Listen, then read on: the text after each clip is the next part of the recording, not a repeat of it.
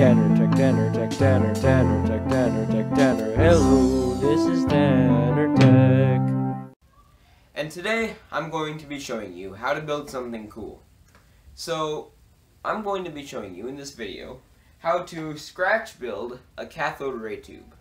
Now a cathode ray tube is basically a, a vacuum tube that doesn't have any air inside it and this means that if you put a high voltage across this tube, you'll be able to see a plasma discharge known as a cathode ray.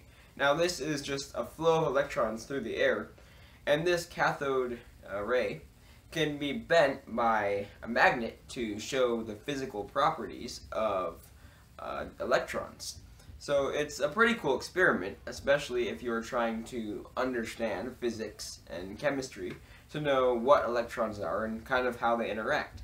And this experiment, or um, cathode ray tube that you can build, will help understand that, and it is also pretty cool to have a test tube with this glowing purplish blue plasma discharge like this.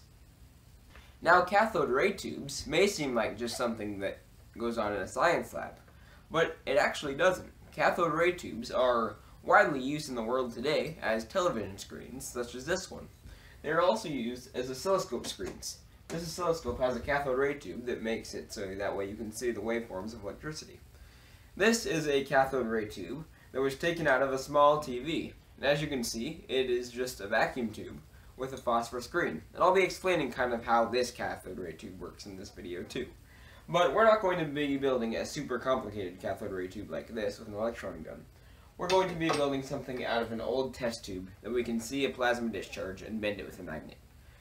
So, let's get started. Now, there are many different types of cathode ray tubes in the world today, but the one we're going to be doing is the super simple cathode ray tube that requires just two electrodes. So what happens is once we evacuate all the air from this tube, we can apply a high voltage across these two wires. Now, the cathode, or the negative end, has many electrons on it, and the anode, or the positive end, has almost no electrons on it. Now this means that these electrons want to flow across this tube. And if there were lots of air particles inside this tube, the electrons would start to flow, but then they'd run into all the air molecules, and they'd be stopped from discharging. But once you remove all the air particles, then the cathode ray, or the electrons, are able to flow from the cathode in a beam across to the anode. Now, this forms the cathode ray. Now, because electrons are negatively charged, they can be affected by a magnet. So, if we put a magnetic field across this tube, this magnetic field will be able to bend the actual cathode ray. We'll be able to move it like this and back to the thing, depending on whether we apply uh, a north or south pole to the magnet. We can also do this with permanent magnets or electromagnets to bend the field. Now to build one of these uh, CRTs, you're going to need a test tube and a vacuum chamber and a high voltage power supply. Now this test tube is made of glass because you cannot have a plastic one because these cathode ray tubes get extremely hot during their use and we don't want that heat to melt the plastic. In fact, I had a cathode ray tube that was made of plastic actually implode because of the vacuum inside, and the heat of the plastic made it collapse in on itself, and it, that wasn't very good. So make sure to make it out of glass. Now what you're going to want to do to this actual piece of uh, test tube to make it a cathode ray tube is you're going to want to make a hole in the top end to insert an electrode inside. Now, to do this, you're going to have to heat it up. Now, to heat up glass is actually quite easy. So, one way you can do it is by using a butane torch. Now, this butane soldering iron can be converted to a butane torch by using this little attachment to the end, and this melts glass. And you can also melt glass by using a homemade Bunsen burner, like I showed you in a previous video. Or you can do what I did and use a Bunsen burner at my school's chemistry lab.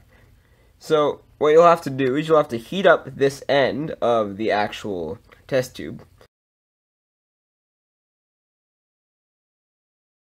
And then once you have it glowing red hot, you're going to blow into this end, And what that's going to do is that's going to expand this end and make a little bubble on top, and that bubble will pop.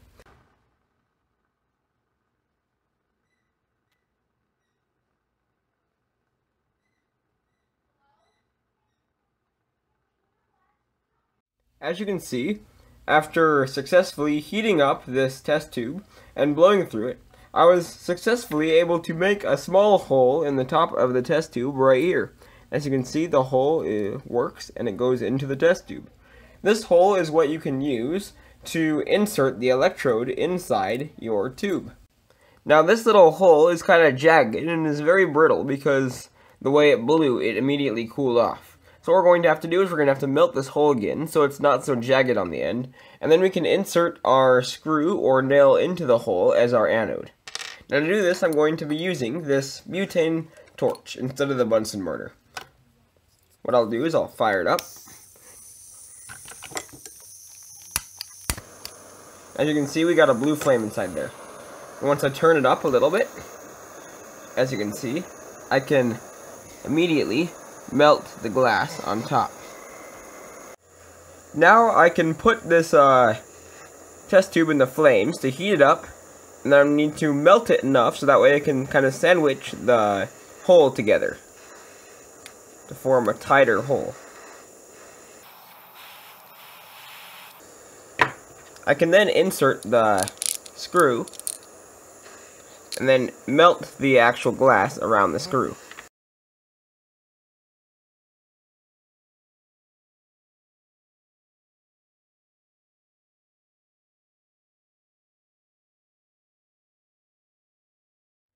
So this is my final cathode ray tube product.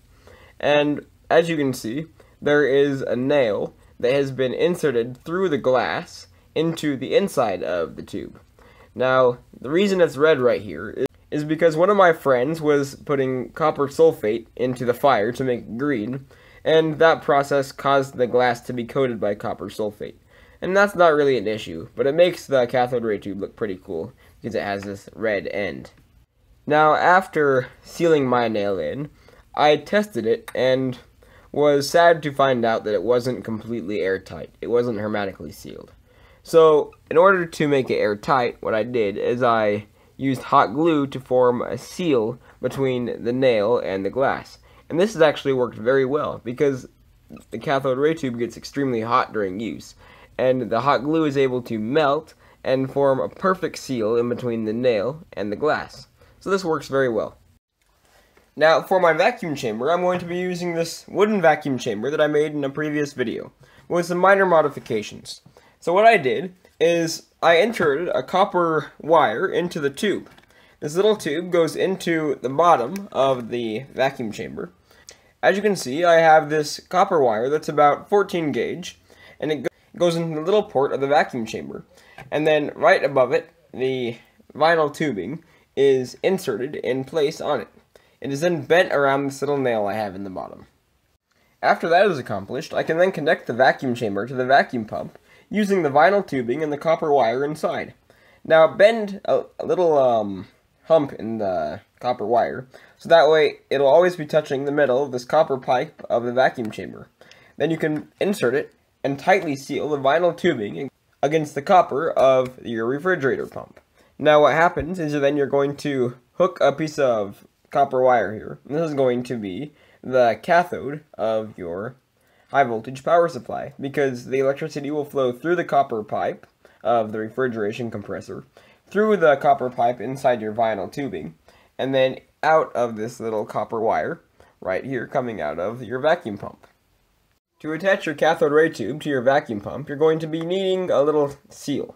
Now I'm using this little tiny piece of rubber that I cut with a hole in the middle that can slide over this little copper wire and onto the hole. As you can see, after turning on the refrigeration compressor, I can insert the cathode ray tube on top of the rubber seal and it'll create a vacuum inside. Now while your cathode ray tube is being pumped down, you can hook up your high voltage power supply. Now this is my ZVS flyback driver that I made in one of my previous videos that uses a flyback transformer and a ZVS switching circuit to create a very high voltage. Now, I'm also going to be making another video on this to further explain how this works in one of my upcoming videos. Now, what you're going to do with this high voltage power supply is connect it to a variac transformer.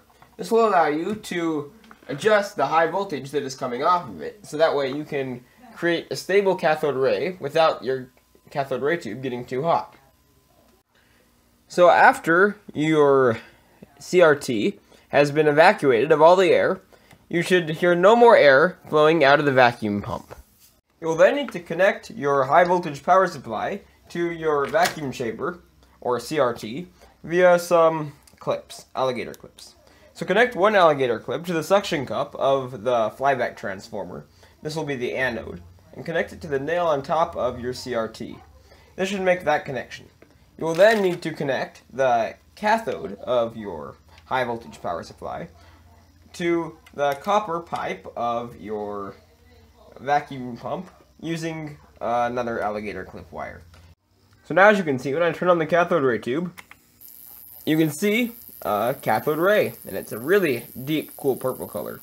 When I move my magnet near it, you can see that it bends the cathode ray, depending on how the magnet is near it.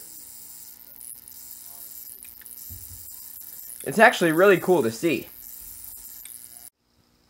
This is a closer image of the cathode ray tube in action. As you can see, it can be easily bent by the hard drive magnet. It's actually really cool to see.